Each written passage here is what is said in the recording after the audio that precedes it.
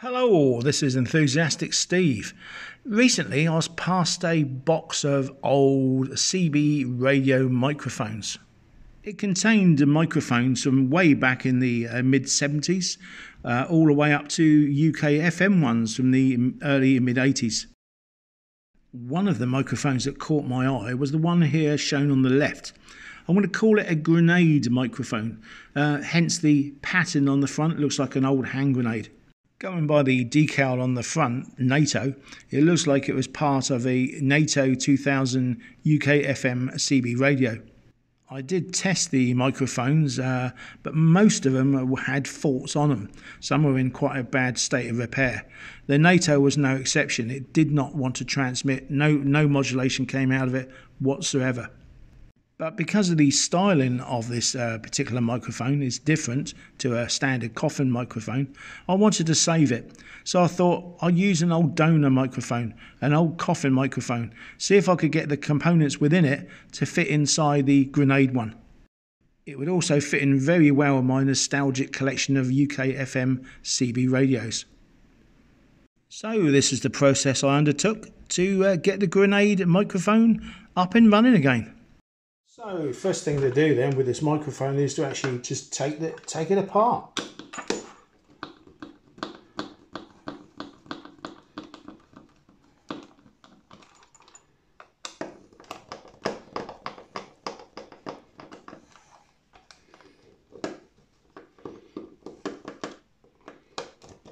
Just three screws on the back actually removes the two cases and this should just pull apart. There you go. Now we have the two parts uh, separated. You can actually see inside to the microphone, the uh, PTT switch, some wiring, uh, the way it held at the bottom, and the dynamic part which is fouled on this particular microphone. That's the uh, little dynamic insert there. So we're going to replace this with another one from a working microphone. We're going to replace the whole interior actually, which will require us to change the PTT switch slightly. So the same process for the donor microphone. We're going to uh, separate the two halves again. It's, it's, a coffin microphone, but it's exactly the same. It's just the mouldings of the actual casing are slightly different. Um, gives it gives it that classic uh, coffin shape. Hence why it's called a coffin microphone. But don't knock the coffin microphones because they work amazingly well. So again, three screws on the back so I've got them separated enough. No, it's got more turns on the front too. Get the old screwdriver in there. And there we come. There we go. Release those. Now we can say, see inside, it's very similar.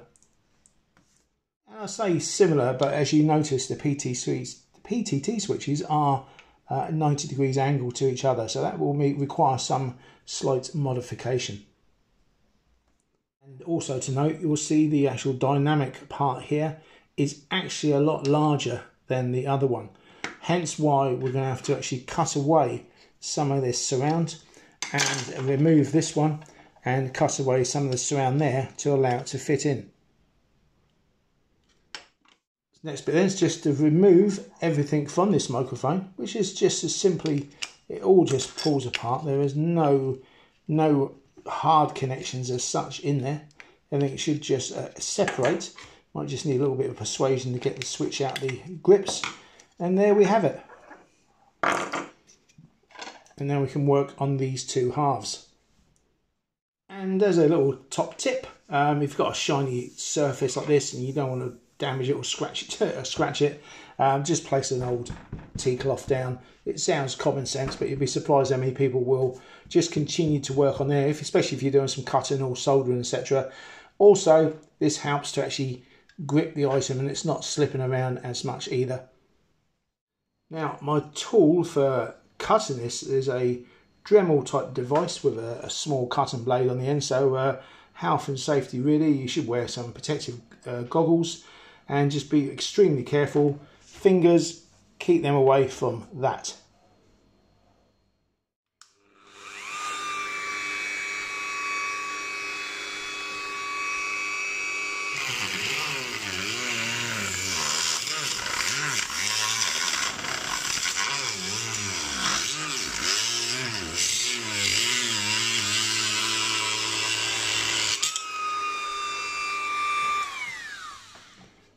Now, also advise you to have a well ventilated room. That got quite hot, and the smell of the plastic fumes. Oh, just get a bit of fresh air from it. So the next stage is to remove the parts from the donor microphone and just match them up to see if we need to cut away anything else. So these items again, they just pull out and it just comes apart, being very gentle with the wiring because this is quite old wiring and I don't really need to get the soldering iron out just yet. So we can put that to one side. Bring back in the microphone that we're going to fit the parts to, the casing. Now, let's see if we can do this. And now first of all, I'm going to replace the micro switch, the PTT switch. And now we're going to put this in a different direction. Then we can actually put the wiring in next at the end. I might try and tidy up that little grommet because the grommet is a little bit on the on the uh, weak side there, but uh, it's got this. The natural is the original one, but it does need some attention. See if I can get that in that, that gap. If not, I'm to have to cut that shortly. And this is the important bit. Can we fit the dynamic electric bit, not electric, the dynamic condenser into there. Whoa, what a good fit. That's a nice positive fit. Right, it's onwards and upwards. Right, the next bit is this rubber grommet at the uh, base of the uh, microphone will not fit. It fit. It's, uh, it's slightly, slightly worn, but it's far too thick. So I'm just going to snip that away with a pair of scissors. Right, one pair of small scissors, and we're very delicately trying to remove this piece of rubber. It's quite soft actually. So it's seen it's, it's gone past its sell by date. But there we go, we remove that and then we can actually fit the wire in there. Now what I'm going to just try attempt to do is the back of the case. Do I need to clear any more plastic off of this one for this to mate up? I think I might actually have to, so we'll just try it. And yes, it's it's proud. I've still got to take a couple of millimeters off there. So hopefully, if I trim this down here, it should actually fit. Again, out with the uh, Dremel.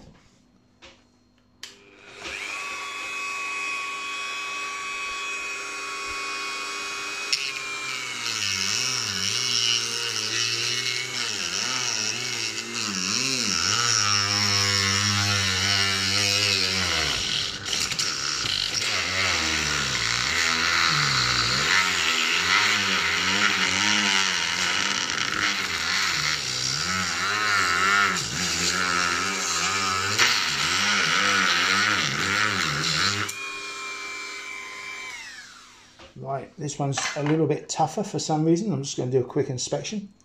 I think I'm almost through actually. So this one's a little bit tougher, but we're getting there. So again, nice steady, firm hand.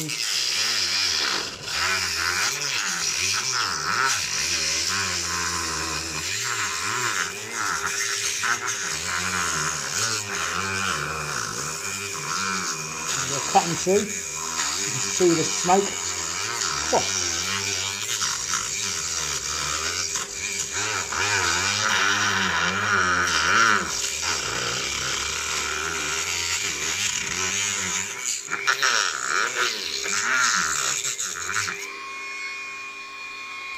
Right, let's see how far we've got with that.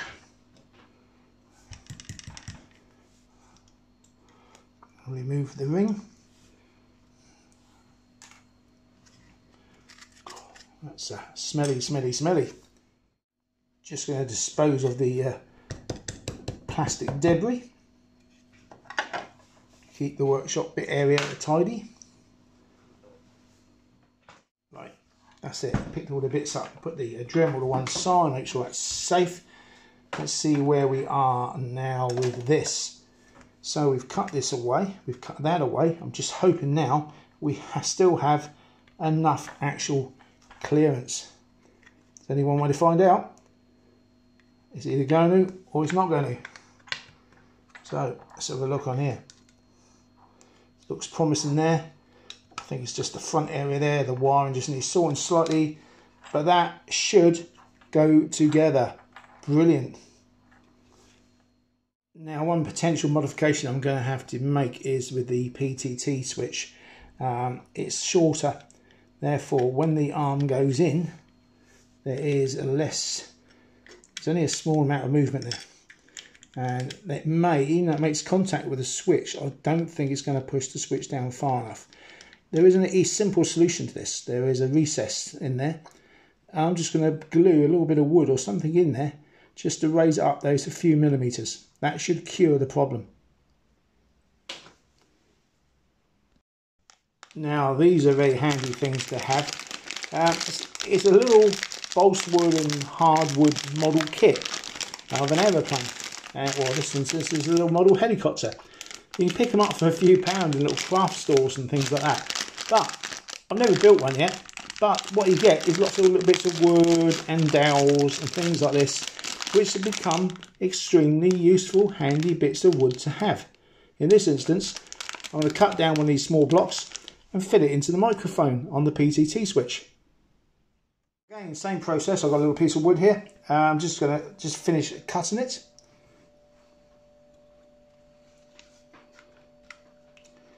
Again, using the little Dremel cutter.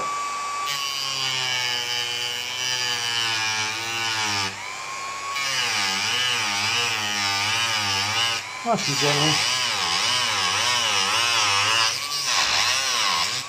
There we go. And the smell of burnt, burnt wood. Mmm. Now I'm just going to glue that little piece of wood, a little blocklet, tiny, tiny bit, into the actual PTT. Uh, using some glue, a little tiny dot of glue. There we go, not too much, put the lid back on. And then we'll just slide that in there and uh, that should work a treat. Look at that. Clean the little edges up in a minute. Fantastic. Here's the microphone. There is the wood insert in the PTT switch. We can now put that in place there.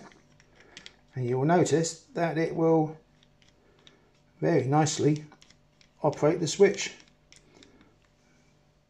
Next, just to keep the uh, workshop a little bit tidy, or the workbench, kitchen bench. Um, yeah, I wish I did have a workshop, but unfortunately, it is what you got. You make the best use of every, all the tools you've got in it.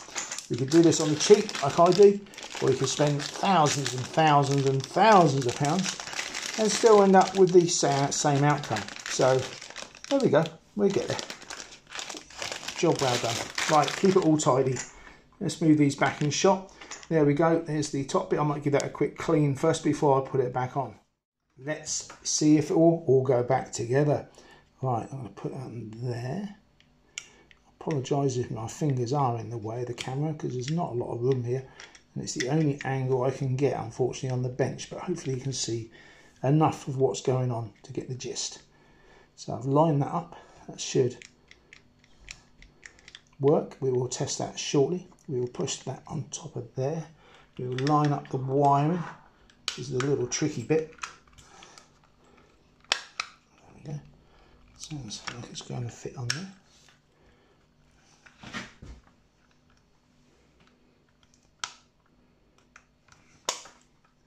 we go I'll do the final bit in a minute we'll get these lined up we'll get a couple of screws in to start with just to hold it all in place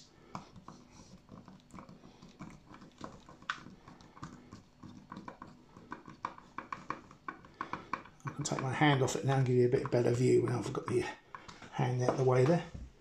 Uh, second one in, just do these up loosely. Doing it one-handed. In there. I'll finish them up tightly shortly. Let's just make sure we the microphone all still works. That's it. There we go. A nice sounding click then. That's what I was looking for just now. Now hopefully this will go in there finally. And it does. It seems to insert and it's going in. So everything is lined up. Nothing is getting in the way. I can finally tighten that one down. We can uh, make sure it's still in the camera because I'm moving things around there on the bench and there's not a lot of uh, viewing angle on the camera unfortunately. So here we go. Good. all seems to still work. So what we've got to do now is, there's a little bit of movement on there though, which I'm not too happy with. I might actually have to open that back up and just put something on there to give that a little bit of tension. But um, then what we're going to do is we'll do a clean up, get all the dust and muck and grime off it, and then we'll put it on air and test it. I've just done some more little bit of tinkering. Uh, I took the back off again. What I've done, I've just packed out this PTT switch. So no long, it's no longer really rattling. There's just a fraction of movement, but I want that because I want it to be nice and free and easy to use. But it's got a nice travel now. I just put another tiny little bit of ply on top of the existing one, just a couple of millimeters, just took the play out of it.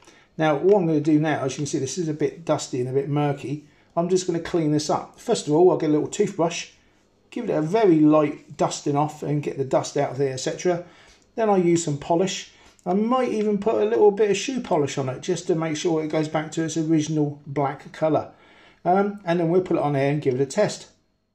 For cleaning, it's just, uh, there are other product names available.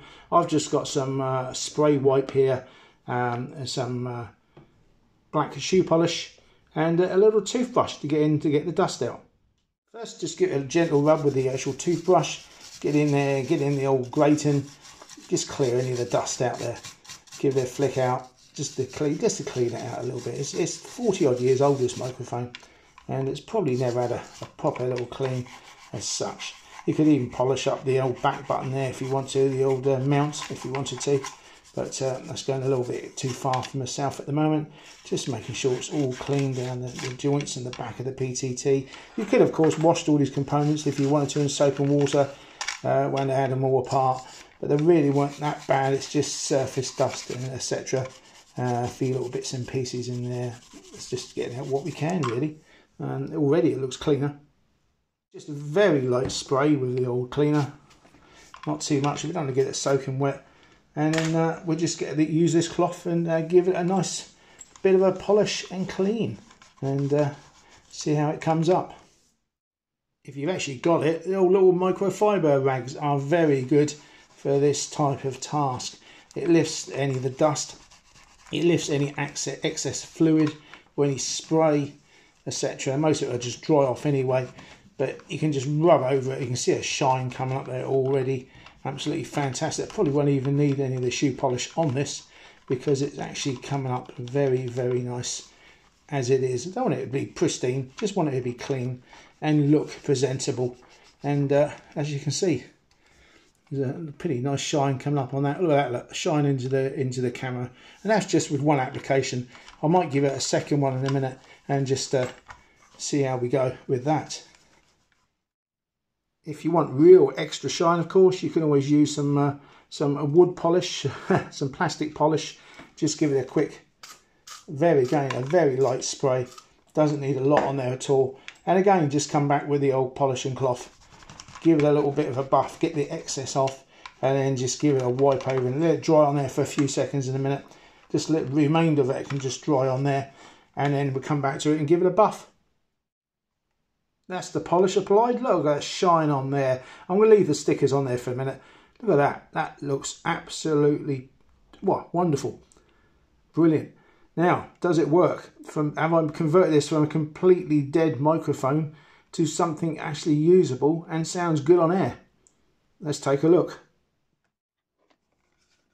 Okay, I've connected up the uh, Grenade microphone to my uh, trusty old York uh, 42, 43 year old radio and we will give it a go on air.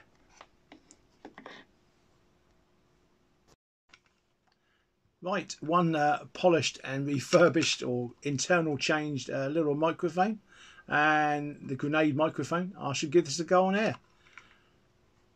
A testing, a testing, a one, two, three, four. One, two, three, four, five. Testing the new Grenade microphone with the new internals fitted. Um, any background noise interference is because the transmit radio antenna is quite close proximity to my receiving antenna. Um, I've turned the power down and took the attenuation on but uh, the recording uh, any background electrical noise is because they're a, bit a little bit close but clarity clarity. Let's see how this sounds. Uh, one, two, three, four, five, five, four, three, two, one. Test complete. Right, I've recorded that on a SDR receiver and we'll play that back and see how it sounds. Let's play this back via my TV monitor and see what it sounds like. Uh, one, two, three, four. One, two, three, four, five. Testing the new grenade microphone with the new internals fitted. Um, any background noise interference because the transmit this radio antenna is quite close proximity to my uh, receiving antenna. Um, I could turn the power down and turn the attenuation on, but uh, the recording, uh, any background electrical noise is because they're a, bit, a little bit close. But clarity, clarity, let's see how this sounds. Uh, one, two, three, four, five, five, four, three, two, one. Test complete. There we go. Not bad at all. There you have it. Another microphone safe in the bin. A old grenade style microphone. I don't know what the proper name for them is really. It is a, is similar to a coffin microphone, but it is a little bit more rounded off, a little bit more stylish. Um, I'm not too sure about that. I'm not sure what that's hiding underneath at the moment. I may remove that and uh, have a little look. It doesn't feel like there's anything underneath there. Um, so that'll probably get removed shortly. But as you can see, the lovely clean now, lovely shine to it. It works. Uh, it's you know it's not a top quality professional amateur ham radio microphone, but for UK FM, it does do a lovely clear. Um, it does give very good clear audio. You couldn't ask for any more. It's probably working as well as it did when it was brand new. And the internals on this come from another microphone, a coffin microphone, again, which is over 42 or 42, 43 years old. So, um, yeah, can't grumble. Uh, all working, all saved. Um, there you go. The Grenade microphone booming out to you across UK FM anytime soon. So I hope you enjoyed that uh, little insight into uh, bringing back to life an old uh, grenade microphone. It's a bit of fun and it saved another one from the bin.